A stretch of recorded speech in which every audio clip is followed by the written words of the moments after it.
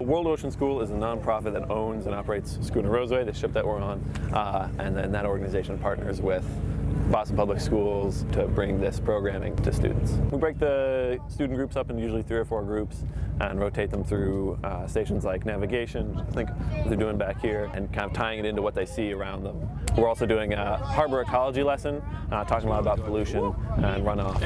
It's like when you're in a classroom, when you're talking about this stuff, you could just imagine it, but when you're standing right in the middle of it, it's like you really could feel like what happens around you. Allowing them to come on a boat and be surrounded not just by the city, but by people that are teaching them things that they would never really learn otherwise. I learned that planktons um, do like to eat each other. I learned that the there's a port side of the boat and there's a star. I think it, I call it the starburst because it sounds like starburst, but I think it's starboard and it's um, on the right side. We learned about all the oceans around us we learned about pools. We learned about cleaning pools and oceans. The map, um, how, how, how pollution starts, and all the simple machines on the boat. The other piece of this programming that I think is really cool, and it's particular to Roseway, is her history in the harbor.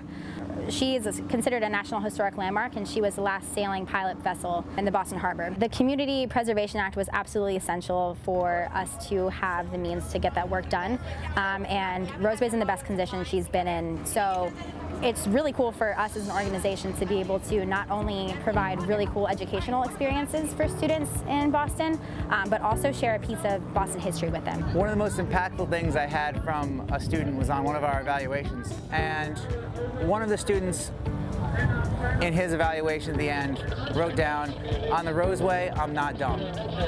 And to see that we're having that kind of an impact, that students that in a traditional classroom aren't able to learn and absorb the information, on board the ship where they're actually seeing and touching, we're doing math problems where they pull on a line and something's really heavy. And then we use multiplication with a pulley system and suddenly they can lift something that weighs much more than they can. And so they're using math and experiencing it. It's not just numbers on a sheet of paper, they're actually living their education.